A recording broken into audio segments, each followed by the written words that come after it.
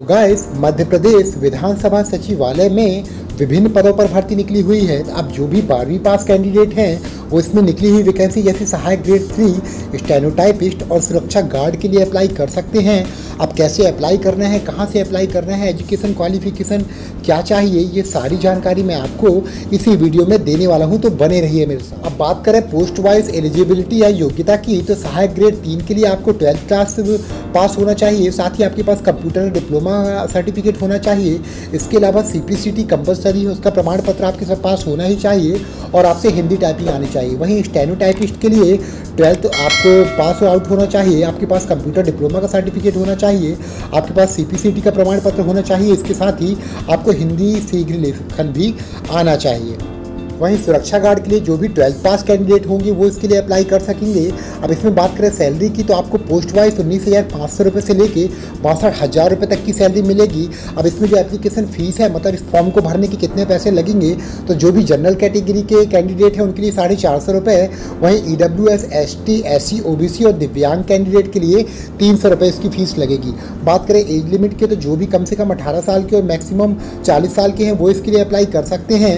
वहीं जो महिला कैंडिडेट है, वो 45 साल तक की इस पोस्ट के लिए अप्लाई कर सकते हैं। अब इसमें जो सिलेक्शन प्रोसेस है तो सबसे पहले आपका रिटर्न एग्ज़ाम होगा, फिर आपका स्किल टेस्ट या फ़िज़िकल टेस्ट होगा देन डॉक्यूमेंट वेरिफिकेशन और उसके बाद आपका इंटरव्यू होगा, फिर आपका सिलेक्शन होगा। अब इसमें जो एग्ज़ाम पैटर्न होगा तो आपका जो रिटर्न एग्ज़ाम होगा, वो होगा फिफ्टी नंबर का, वहीं स्किल या फ़िज़िकल टेस्ट जो है, वो होगा फिफ्टी नंबर का, आपका इंटरव्यू होगा फिफ्टीन नंबर या पंद्रह नंबर का, उसके बाद होंगे आपके डॉक्यूमेंट वेरिफिकेशन अब इस वैकेंसी का सबसे इंपॉर्टेंट पार्ट कि इस पोस्ट के लिए अप्लाई कैसे करना है तो सबसे पहले आपको ये जो लिंक मैंने दिया हुआ है इस पर आप क्लिक करके आपको इसकी ऑफिशियल वेबसाइट पर चले जाना है। ये लिंक आपको डिस्क्रिप्शन में भी मिल जाएगा, जिस पर क्लिक करके डायरेक्ट आप इस रिक्रूटमेंट की ऑफिशियल वेबसाइट पर पहुँच जाएँगे।